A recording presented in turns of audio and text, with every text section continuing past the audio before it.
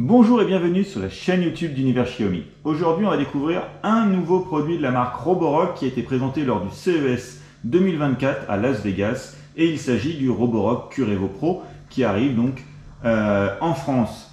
Alors, on va retrouver directement sur le carton quelques nouveautés donc de ce Curevo Pro, dont le Flexi Arm Design, donc l'extension de la serpillière pour le nettoyage des bords. On va également retrouver donc la puissance d'aspiration, l'hyperforce euh, de Roborock de 7000 PA. On va retrouver la détection intelligente de la saleté, le nettoyage à l'eau chaude donc des serpillères lors du retour à la station. On va retrouver le séchage également donc, de ces serpillères à l'air chaud et bien entendu la détection d'obstacles. C'est une partie donc des caractéristiques. Ce que l'on va faire, c'est qu'on va déballer euh, immédiatement donc ce Curevo Pro et on verra donc toutes les caractéristiques ensuite.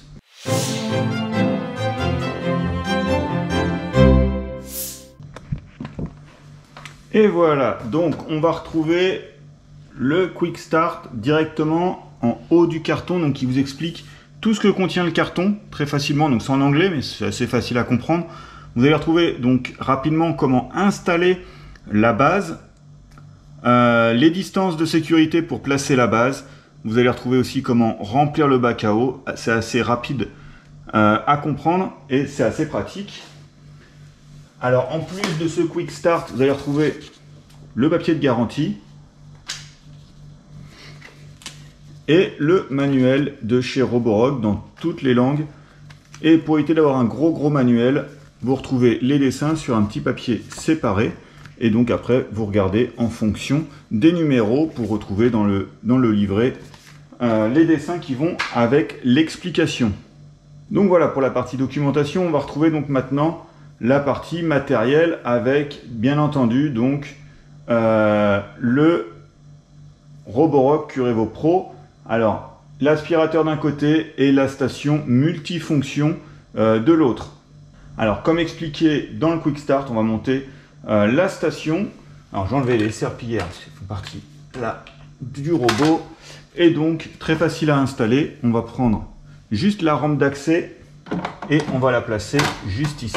Voilà. Et voilà. La station est montée. Donc on va retrouver cette station multifonction 2.0 qui va permettre euh, de nombreuses choses, dont le remplissage automatique en haut de l'aspirateur. Donc l'aspirateur, quand il revient à la base, il remplit automatiquement l'aspirateur. Donc c'est la station qui s'en charge et vous, vous n'avez juste à recharger que un des bacs, c'est celui-ci, qui va permettre donc le remplissage en eau. Donc un bac à eau propre situé juste ici, donc assez facile à prendre grâce à la poignée située au-dessus. Donc voilà le bac à eau propre avec le petit dessin qui vous explique donc que c'est le bac à eau propre juste là. Et donc il a une contenance de 4 litres. Et juste à côté, donc on va retrouver le bac à eau sale. Donc là ça va être lors du nettoyage euh, des serpillères. Il va nettoyer les serpillères et reprendre l'eau sale et la mettre donc dans ce bac d'une contenance de 3,5 litres. Et on reconnaît bien ce bac grâce au petit dessin situé ici. Donc pareil, il s'ouvre sur le côté et vous avez juste à le vider. Euh, dans les toilettes par exemple. Voilà. Donc le remplissage automatique en eau, c'était la première fonction. On a pu voir donc le lavage des serpillères comme je viens de vous parler, puisqu'il y a le récupération d'eau sale. Donc il va permettre le lavage des serpillères à l'eau chaude avec donc une température de 60 degrés qui va permettre un taux d'élimination des bactéries de 99,7%. Alors la base de nettoyage est juste ici et elle se retire donc pour faciliter euh, son nettoyage. Vous avez juste à la passer sous l'eau. Voilà, ça évite d'aller dans les petits recoins de l'aspirateur en dessous pour pouvoir la nettoyer. On va également retrouver pour ces serpillères un système de séchage à l'air chaud. Alors à 45 degrés, ça va sécher les serpillères et donc ça va éviter au niveau des serpillères la création d'odeurs et de moisissures. Alors cette station multifonction est intelligente, elle va avoir un système de détection de la saleté qui va permettre euh, un relavage des serpillères si nécessaire pour une propreté maximum. Une autre fonction donc, de cette base est située juste ici. Il s'agit de la récupération de la poussière via un sac à poussière. Alors ce sac à poussière, pareil, voilà, je l'ai retiré. Aucun risque de propagation de la poussière grâce au système de fermeture du sac. Donc voilà, lorsqu'il est inséré dans la station, voilà, le trou est disponible et quand on le retire, donc ça, permet de fermer, ça fait une petite trappe de fermeture et ça permet d'éviter euh, la propagation de la poussière. Pareil pour le remettre et donc le changer. C'est assez simple et ça se fait environ toutes les 7 semaines seulement. Donc vous avez quand même une grande tranquillité d'esprit. Vous n'avez pas besoin de vous soucier de, cette poussière pendant 7 semaines. Et donc cette petite trappe, et se referme très facilement. Alors la marque Roborock fournit en plus un deuxième sac à poussière avec donc le Roborock Curevo Pro. Ça va vous permettre donc d'avoir déjà lors de l'achat 14 semaines de tranquillité. Vous avez juste à le changer au bout de cette semaine et euh, vous avez donc en tout 14 semaines de tranquillité. Et la dernière fonction donc va être le rechargement de l'aspirateur. Donc lors du retour, elle va permettre le rechargement de l'aspirateur automatiquement. Et vous avez également donc la fonction de rechargement en dehors des heures pleines disponible dans l'application. Donc vous avez juste à la régler avec l'application afin que le Roborock Curevo Pro se recharge euh, lors de vos plages d'heures creuses, donc moins cher en électricité. Donc voilà pour cette station multifonction. Alors, on va la mettre juste là pour le moment. Donc on retrouve également son câble fourni. Voilà, et donc on va passer à l'aspirateur et ces deux serpillères, donc les serpillères rotatives et l'aspirateur juste ici. Donc on va retrouver juste une petite trappe sur le dessus. Alors en ouvrant la trappe, vous voyez directement le bac à poussière, juste là, avec le filtre. On verra lors du passage dans l'application, ce filtre est à nettoyer et à changer et l'application vous le signale. Alors on aperçoit un peu de rouge au fond, on verra tout à l'heure quand on passera en dessous de l'aspirateur. Il s'agit de la brosse rotative située en dessous, donc je vais remettre le bac à poussière. Donc le bac à poussière, où je ne vous ai pas parlé, il peut, vous pouvez donc en enlevant la filtre, juste ici, je ne l'ai pas montré, euh, c'est là, voilà. Vous avez juste à déclipser la filtre. Après vous pouvez le vider également comme ça, ou laisser donc la station sans charger, elle est là pour ça. Voilà. Donc, tant que la trappe est ouverte, alors, juste ici, on va retrouver le QR code pour euh, l'application. Alors, on n'en parle pas souvent, mais là, je vais en parler puisqu'on a beaucoup de questions sur le Wi-Fi, s'il change de Wi-Fi, etc. Donc, vous retrouvez le voyant Wi-Fi. Alors, lorsqu'il est éteint, c'est que le Wi-Fi est éteint. Euh, lorsque le clignotement est lent, il est en attente de connexion. Et lorsque le clignotement est rapide, c'est euh, qu'il est en connexion. Et lorsque le voyant est fixe bleu, le Wi-Fi est bien connecté. Et juste à côté, vous avez un petit bouton de réinitialisation euh, de l'appareil. Donc je referme cette trappe et là vous retrouvez donc le capteur LIDAR. C'est sur ce LIDAR que la navigation va reposer et va permettre donc à, votre aspirateur d'avoir un parcours précis ainsi que la création de cartes euh, précises et détaillées.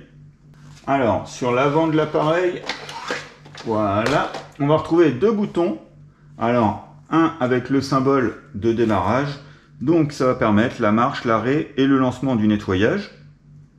Et vous avez également donc un deuxième en forme de petite maison. Donc lorsque vous appuyez sur ce bouton, donc euh, ça va permettre au robot de revenir à la station. Et si vous restez enfoncé sur ce bouton, ça va permettre un nettoyage localisé. Donc voilà pour le dessus. Alors, à l'avant, on va retrouver juste ici le système Reactive Tech qui va permettre la détection d'obstacles. Alors, un bumper de situer à l'avant qui va permettre aussi pareil d'éviter d'abîmer vos meubles. Et sur le dessous, alors, le dessous, on va retrouver, comme d'habitude, la série de capteurs PreciSense de chez Roborock, la détection de vide, la détection donc de tapis par ultrason. On va retrouver ici une petite roulette et là les deux grosses roues qui vont permettre de monter les obstacles jusqu'à 2 cm. Et ici, on va retrouver donc la brosse Alors, c'est une brosse 100% caoutchouc qui va donc permettre de euh, récupérer toute la poussière. Cette brosse va être aidée par l'aspiration hyper force de chez Roborock euh, de 7000 PA. Alors, on va refermer.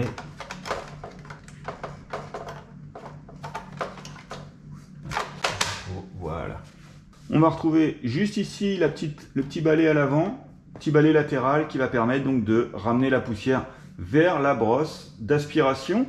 Et juste ici, on va retrouver donc les deux serpillères rotatives. Alors, on va pouvoir les mettre. Je vais installer que celle-ci pour le moment. Et pour la deuxième, c'est ce que je vous expliquais tout à l'heure avec le système FlexiArm Design qui va permettre un nettoyage des bords. Donc ici, vous retrouvez la euh, serpillière rotative qui va être fixe. Et juste ici, vous retrouvez celle qui va permettre le nettoyage des bords. Donc vous pouvez voir le système qui va se rabattre sur le côté et permettre un nettoyage des bords. Donc pour nous, il suffit juste de mettre les serpillères et l'aspirateur va s'occuper du reste. Donc voilà, on a fini de faire le tour donc, du Roborock Curevo Pro ainsi que de sa station.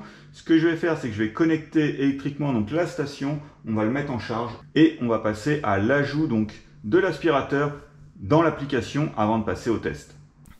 Donc voilà pour le Curevo Pro. Donc ce que l'on a fait, c'est qu'on a juste mis l'aspirateur en charge dans la base et on a rempli donc le réservoir d'eau propre. Et donc on ouvre l'application et directement on retrouve le nouvel appareil. Donc nouvel appareil trouvé, le Roborock Curevo Pro, ça tombe bien. On va mettre se connecter et donc directement il nous propose euh, de sélectionner donc un Wi-Fi. On va sélectionner. Voilà, donc là j'ai tapé mes identifiants du Wi-Fi, donc identifiant et le mot de passe.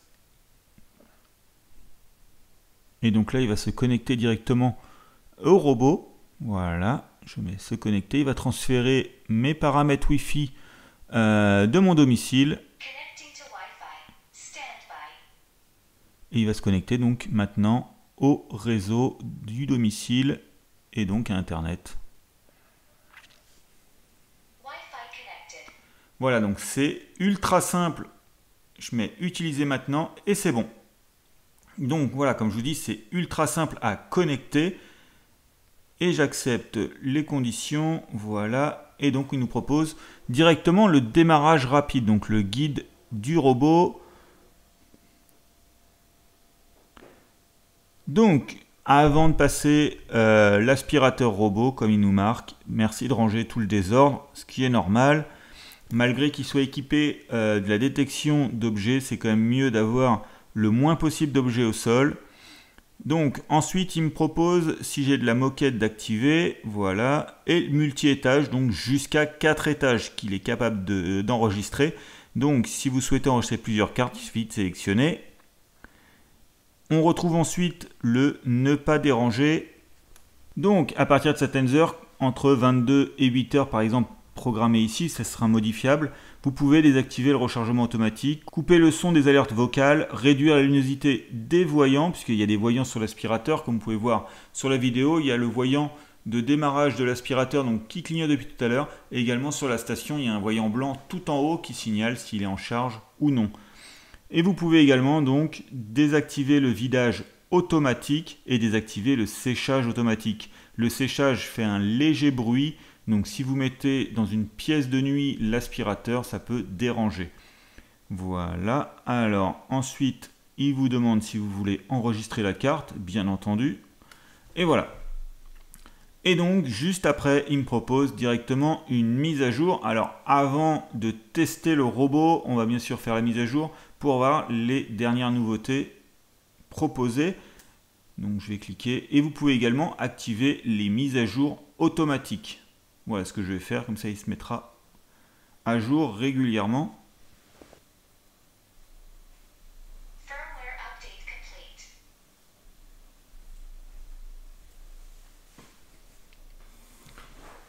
Et voilà, donc on l'a entendu, le firmware a été mis à jour, donc c'est bon. Voilà, on voit même le réussi affiché sur le téléphone.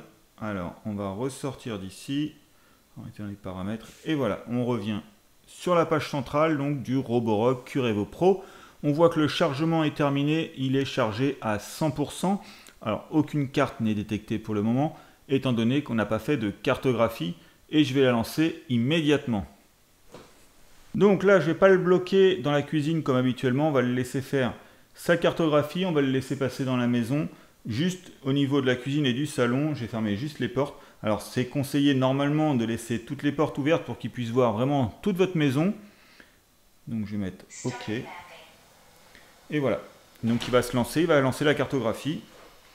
Donc c'est une cartographie rapide, donc il va passer euh, dans toutes les pièces de la maison brièvement et améliorer sa carte après au fur et à mesure.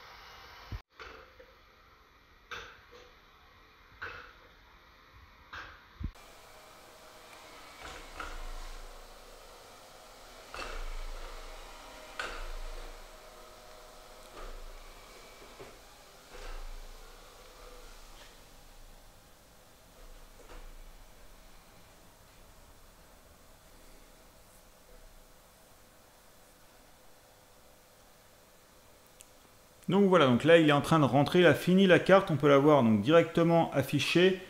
Elle a été faite très rapidement en 3 minutes. Donc là, il est bien entendu euh, pas question de nettoyage. On a pu voir les, brosses qui ne fonctionnaient pas et on a pu également voir les serpillères qui ne tournaient pas. Donc il n'a juste fait sa cartographie très rapidement. Donc la cartographie, comme on a pu voir tout à l'heure lors de la présentation, c'est réalisé grâce au LIDAR le petit rond qui est au-dessus, qui va permettre une cartographie rapide et précise. Donc, les cartes sont enregistrées et la mise à jour va continuer lors du prochain euh, nettoyage. Donc, à chaque nettoyage, la carte sera améliorée. si vous bougez également des meubles, il va prendre en compte au fur et à mesure et la carte donc évolue. Donc, il est possible aussi de modifier euh, vous-même la carte pour que le robot en sache davantage sur l'environnement. Ça tombe bien, c'est ce que l'on va faire immédiatement. Donc on va voir la gestion de carte. Et donc là, on a une pièce euh, totale. Donc en petit, en pointillé, on voit le passage du robot. Donc il est passé à tous ces endroits. Voilà. Et donc nous, ce que l'on veut, ça va être le créer différentes pièces. Donc là, on va cliquer sur le petit logo de modification de carte. Donc, on peut lui mettre un petit nom à la carte, juste ici. Donc, nous, on va le laisser. Et on va retrouver donc la modification de carte. Donc, vous pouvez créer des zones interdites. Donc, je vais faire OK. Donc, on peut créer des murs invisibles. Par exemple, ici, je peux lui dire qu'il y a un mur qui s'étend de là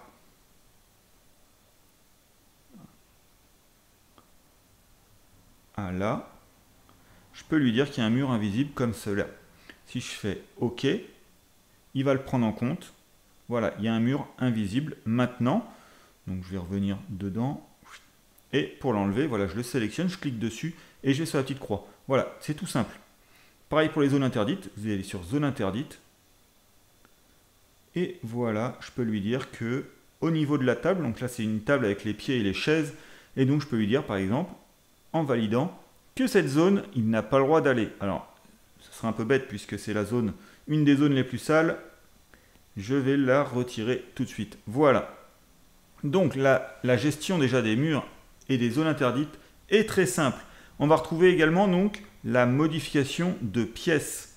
Voilà, alors ils expliquent la modification facile des pièces. On peut fusionner, on peut diviser, on peut renommer les pièces. Alors, on sélectionne la pièce on va la diviser. Là, on a un gros bloc. Et donc, moi, ce que je souhaite, ça va être la diviser comme cela. Comme ça, nous allons rester donc dans ce petit rectangle au bout pour les tests. C'est face à la caméra, c'est parfait. Voilà.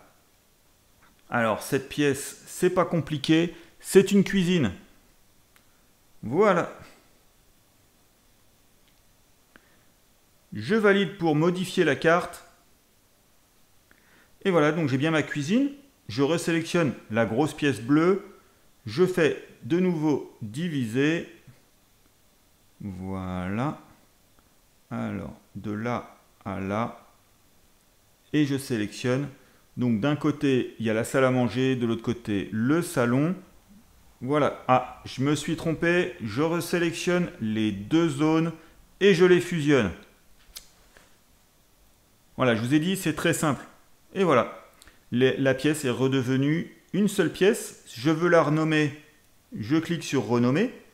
Il n'y a pas dans le choix, il suffit de taper ce que vous voulez pour rajouter. Donc nous, on va mettre salle à manger pour le moment. Voilà. Et voilà. Donc là, bien validé à la fin pour prendre en compte les modifications. Et voilà. On peut ensuite modifier euh, les meubles et donc vous pouvez lui ajouter des meubles. Alors j'ai un canapé multiplace. Pouf. Alors voilà, il faut le positionner, c'est tout simple. Hein. Il est juste ici et il est un peu plus grand que ça.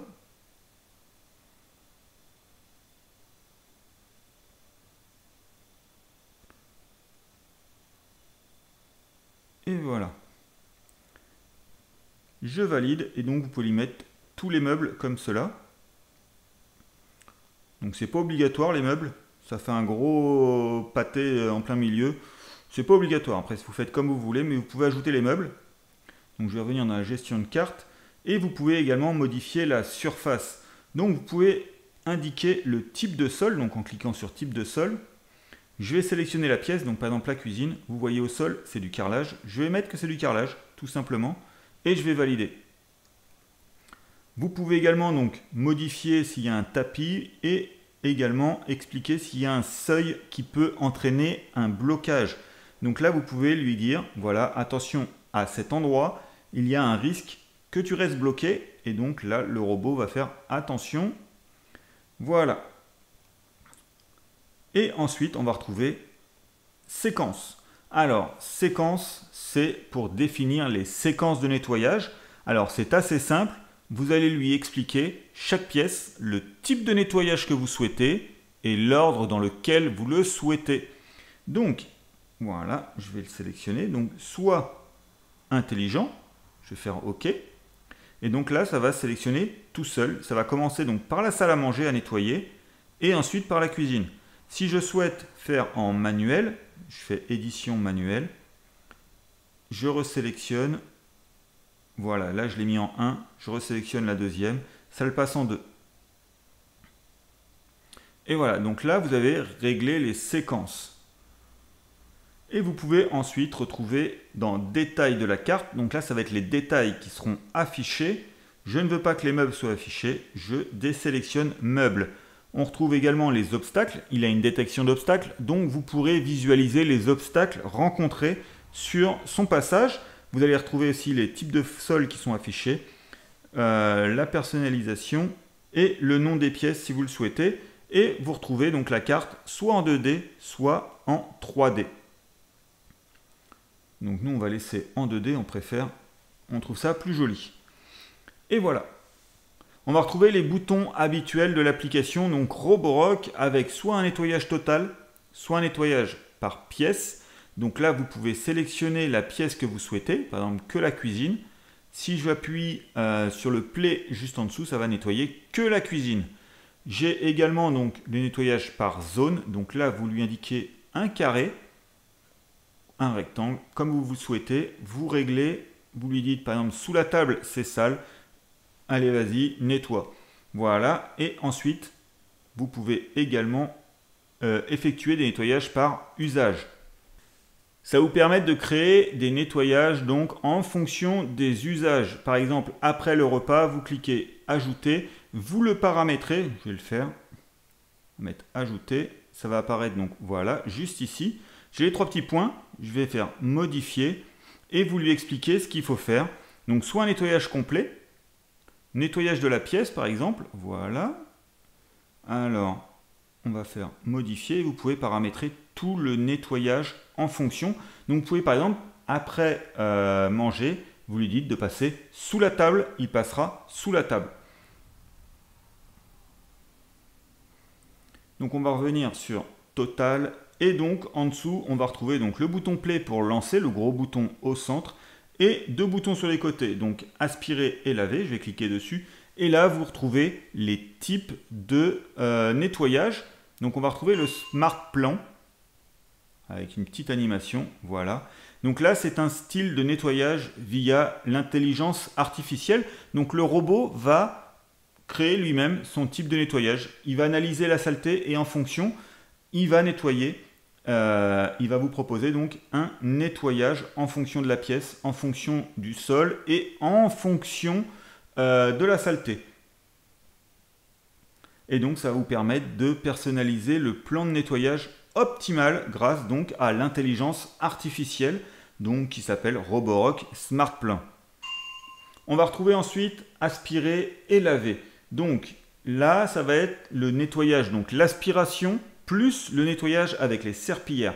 Donc vous allez retrouver la puissance qui est réglable, la puissance d'aspiration. Donc là actuellement elle est sur normal.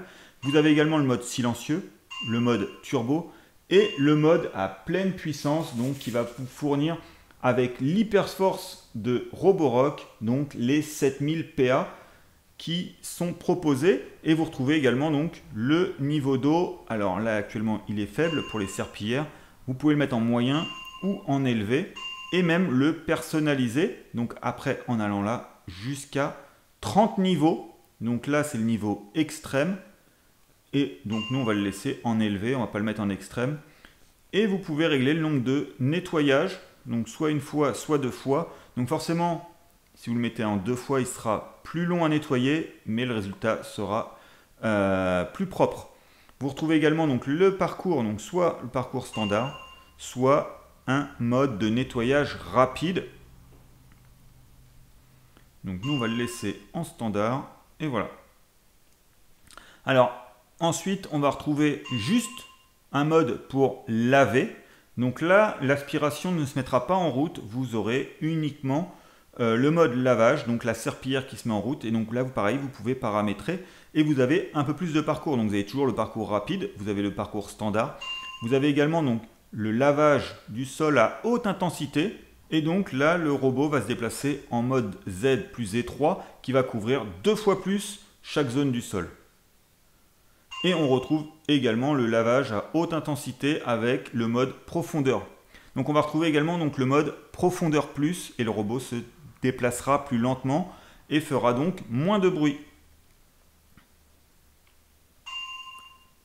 On retrouve également donc le mode aspiré, donc là ça va revenir à peu près au même. On va retrouver juste un mode d'aspiration donc supplémentaire, donc le mode Max Plus qui va fournir l'aspiration hyper force de 7000 PA. Donc là ça va aspirer fort et ça vous permet d'avoir plus aucune poussière au sol. Donc là pareil les parcours seront identiques, donc soit rapide, soit standard. Et ensuite, vous allez retrouver le mode perso. Donc là, vous allez choisir en fonction de chaque pièce le type de nettoyage que vous souhaitez. Voilà, je vais mettre OK. Je vais lui dire que dans la salle à manger, je veux qu'il aspire au max, qu'il mette très peu d'eau, qu'il nettoie deux fois et qu'il va faire un parcours rapide. Voilà. Et là, on retrouve juste en dessous de salle à manger le type de nettoyage qui sera proposé. Je peux le modifier à tout moment, donc là je vais le valider et je peux le remodifier comme je le souhaite. Donc voilà, alors on va revenir, on va mettre aspirer et laver. On retrouve ensuite une petite icône pour la station. Donc là, on retrouve la station avec le contrôle de la station. Donc le réservoir d'eau propre est bien installé, le réservoir d'eau sale également. Et on a bien un bac à poussière à l'intérieur. Donc on peut vider depuis l'application à tout moment le bac à poussière en cliquant sur l'icône tout en bas. On peut également laver les serpillères juste en cliquant dessus et également rendre les serpillères et également donc activer le séchage des serpillères à l'air chaud à 45 degrés. Et on retrouve également donc les paramètres de la station, donc avec un intervalle de lavage réglable des serpillères. Donc voilà, en cliquant dessus. Alors soit par pièce, il va nettoyer une pièce, il va revenir pour nettoyer les serpillères, soit en temps, donc 10 minutes, 15 minutes, 20 minutes ou 25 minutes. Et donc tous les, là actuellement, donc tous les 15 minutes, le robot reviendra directement à la station renettoyer les serpillères. Donc vous le paramétrez comme vous le souhaitez. On retrouve également donc pour les serpillères le mode de lavage de la serpillière. Donc lorsqu'il revient à la station, est-ce que vous souhaitez qu'il nettoie à l'eau chaude? Donc là, on va aller ici, on va cliquer. Voilà, le mode de lavage des serpillères est intelligent. Le volume d'eau et la durée de lavage est en fonction du niveau de la saleté. Mais vous pouvez également donc choisir un nettoyage en profondeur. Donc ça veut dire un gros nettoyage chaque fois. Et également choisir la température de l'eau. Donc soit la température ambiante, c'est-à-dire l'eau euh, telle qu'elle est dans le bac, soit à l'eau tiède, donc ça va être chauffé légèrement, ou soit à l'eau chaude, donc à 60 degrés, avec un taux d'élimination des bactéries à 99,7%. Donc voilà, alors après on va retrouver le mode de vidage intelligent, mais vous pouvez le régler donc soit en léger, soit en équilibré, soit en max. Donc le robot, une fois rentré à la station, euh, il videra dans la station toute la poussière de son bac à poussière. Donc là, vous pouvez le régler en fonction. Et on retrouve la durée donc pour le séchage, soit 2 heures, soit 3 heures, soit 4 heures. Tout en bas, on va retrouver les paramètres plus, donc tous les paramètres de la station qu'on a pu voir, donc le séchage automatique avec la durée, le mode de vidage avec le vidage automatique et l'intervalle de lavage de la serpillière avec le mode de lavage de la serpillière. Donc voilà pour les paramètres euh, présents en bas de l'application. Et donc, on va pouvoir retrouver les trois petits points en haut pour les paramètres total. Donc, on va retrouver tout en haut l'historique de nettoyage. Donc, pour l'instant, il n'a pas nettoyé réellement, il est juste passé pour faire la cartographie. Donc, on retrouve 3 minutes et une superficie du dernier nettoyage de 30 mètres carrés. Euh, c'est un peu euh, donc faussé, comme je vous ai dit, c'est juste là pour le moment une cartographie rapide. On retrouve ensuite les programmes. Vous allez pouvoir programmer pour chaque pièce une heure de nettoyage précise et donc euh, lors de votre retour du travail que la maison soit propre. On va retrouver la configuration du type de sol. Donc on avait pu voir tout à l'heure, on a pu euh, gérer le type de sol de la pièce. Donc ici la cuisine, on a pu régler qu'il y avait du carrelage au sol et donc en fonction, vous pouvez modifier la surface. Donc on va revenir sur la même carte que tout à l'heure. Et on peut configurer également, juste ici, le nettoyage des moquettes, donc des tapis ou de la moquette. Et donc là, vous allez pouvoir avoir l'élévation automatique donc des serpillères pour éviter de mouiller euh, la moquette ou les tapis. Mais vous pouvez également donc juste traverser le tapis, ignorer le tapis ou l'éviter. Il y a également d'activer le boost pour tapis donc là, lorsqu'il y a une détection de tapis, comme je vous ai dit il y a deux secondes, il va soulever les serpillères et surtout, il va booster, booster la puissance d'aspiration pour nettoyer en profondeur le tapis. Et vous pouvez encore aller encore plus loin en faisant un nettoyage des tapis en profondeur. Et également l'aspiration des tapis en priorité, c'est-à-dire qu'il va aller commencer par les tapis. Alors ça n'inclut pas les paillassons, ça inclut que les tapis. Et là, vous allez aller, l'aspirateur va aller directement sur les tapis pour nettoyer en priorité donc le tapis. Donc on va laisser comme cela. Donc ensuite, on va retrouver le nettoyage étendu des coins. Alors ça va être le système FlexiArm Design qui va permettre le nettoyage euh, des bords à 98,8% avec une précision de 1,85 mm avec la serpillière donc de droite qui va s'étendre sur le côté pour vraiment atteindre le bord et nettoyer donc au plus près des bords. On va retrouver le renettoyage à la serpillière automatique. Donc lorsqu'une euh, zone est détectée comme sale durant le nettoyage, celle-ci pourra être renettoyée. Donc ça on va l'activer. On va retrouver également le nettoyage en profondeur autour des articles pour animaux. Donc euh, le robot détecte des jouets, par exemple d'animaux, une gamelle, et là, il va passer et nettoyer en profondeur autour. C'est des zones qui peuvent être un peu plus sales que d'autres, donc forcément, il va euh, intelligemment essayer de nettoyer plus minutieusement ces zones. Et donc on retrouve également le nettoyage en suivant le sens du plancher. Donc là, il suffira de mettre des planchers euh, dans les pièces où il y en a et vous avez le sens du plancher qui est réglable. Et donc le robot, en fonction de ce sens, nettoiera le sol. On retrouve ensuite les paramètres de la station, donc ça on les a vus tout à l'heure. Voilà, on retrouve tout ça. Ça je ne reviens pas, on les a vus. On retrouve l'évitement euh, d'obstacles réactifs. Alors là, il est activé. Donc la lumière structurée va permettre de détecter et d'éviter les obstacles en temps réel. Si vous souhaitez, vous pouvez le désactiver.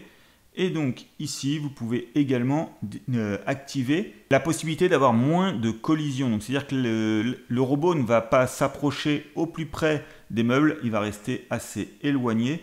Donc moi, ce que je vais faire, je vais mettre en sensible. Et donc il va essayer d'éviter un maximum les pieds de table, les pieds de chaise. Voilà.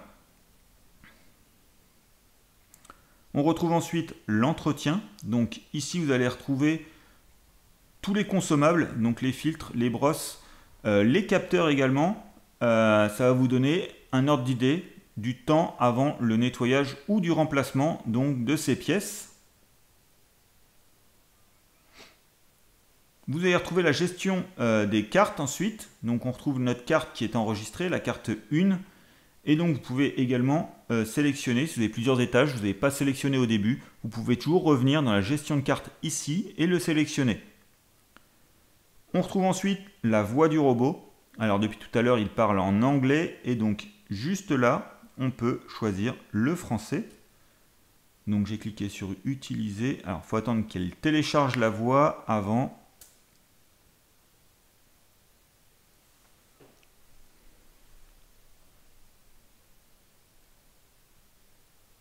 Et voilà, donc là ça marque bien que c'est la voix actuelle. Alors vous avez le volume si vous souhaitez.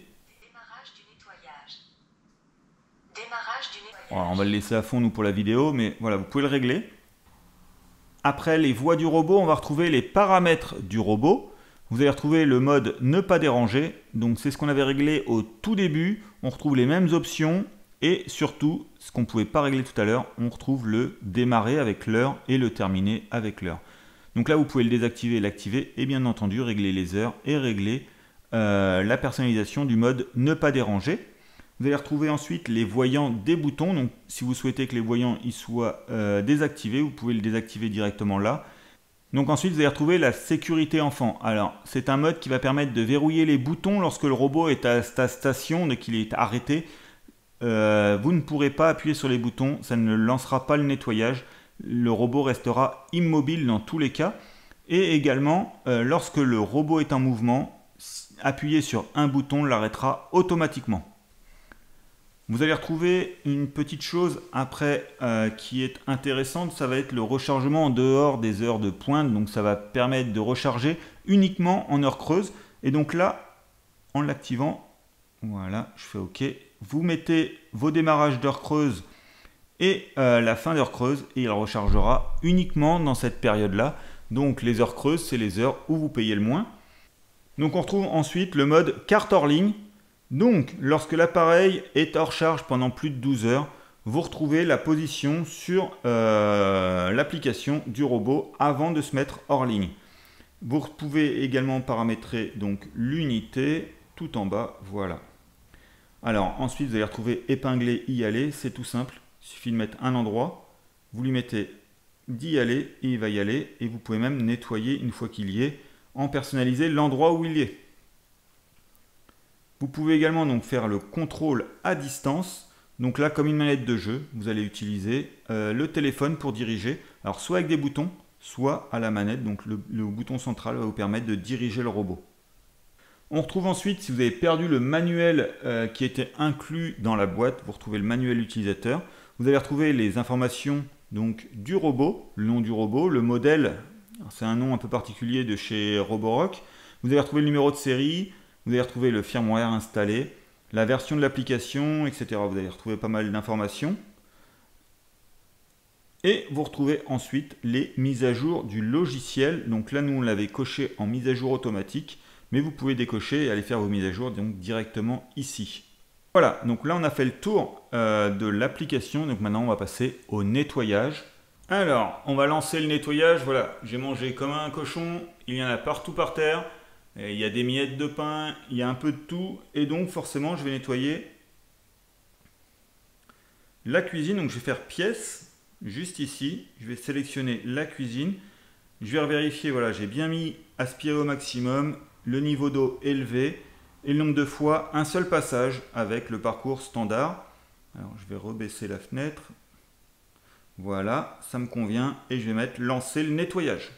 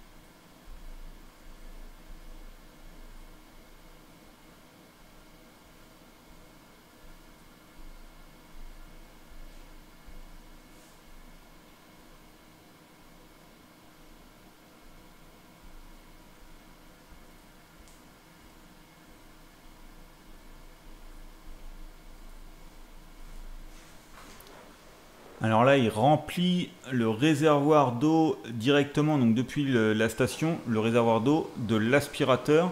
Et après, il va donc faire un premier nettoyage des serpillères. Alors le robot est tout neuf, donc ça met un peu plus longtemps à remplir en eau, puisqu'il est totalement vide. Et donc après, il pourra lancer le nettoyage une fois fait.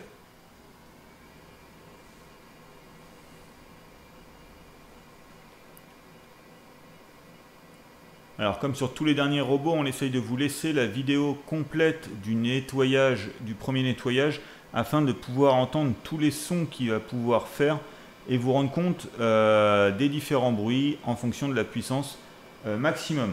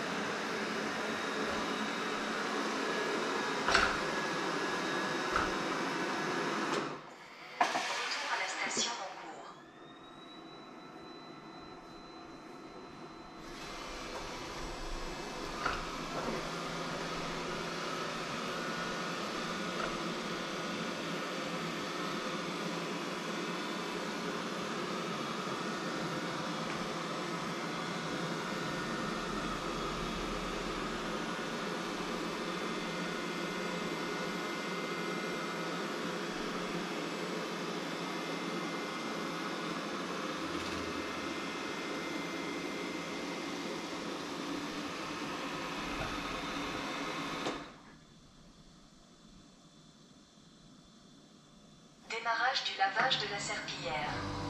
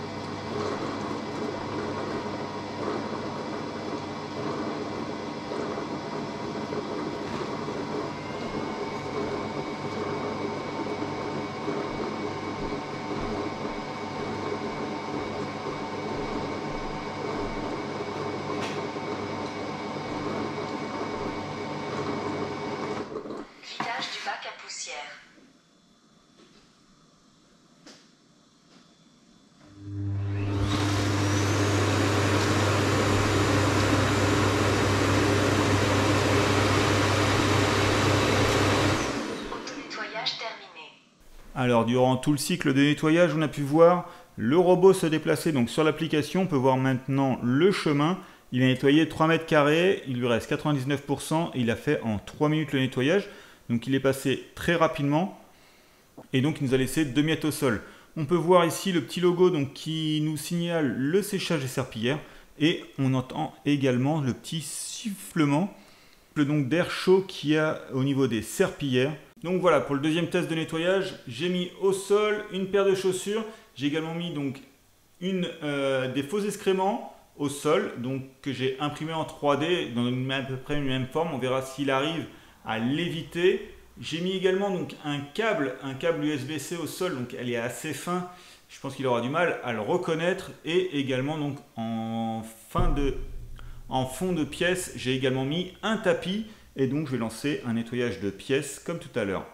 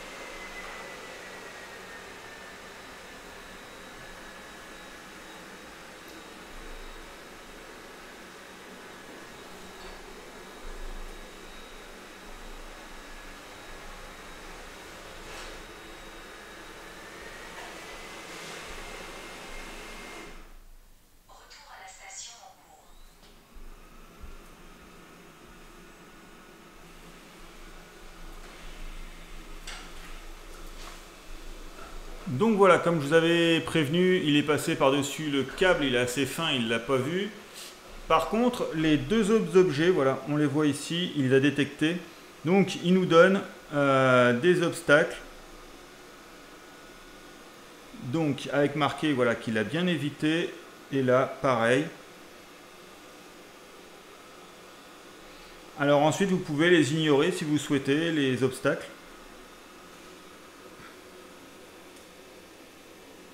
Et pour le tapis, voilà, il est bien dessiné sur l'application maintenant, le, tapis, et il n'a pas trop bougé, contrairement à beaucoup d'aspirateurs qui arrivent à le prendre et à le bouger. Donc voilà pour le Roborock Curevo Pro, donc qui apporte quelques nouveautés comme le lavage à l'eau chaude des serpillères donc via cette station multifonction et également donc le système FlexiArm qui arrive donc sur ce robot qui va permettre donc le nettoyage des bords avec les serpillères qui vont s'étendre au plus près des bords pour un nettoyage parfait. Et il va également disposer d'une technologie, donc de la technologie réactive AI qui va permettre de reconnaître les obstacles et éviter donc de se coincer. Donc voilà, la vidéo donc sur ce nouveau Roborock est terminée. Alors comme habituellement, on vous met les liens d'achat en description et on se retrouve très vite pour plus de découvertes sur Univers Xiaomi. En attendant, abonnez-vous. Bye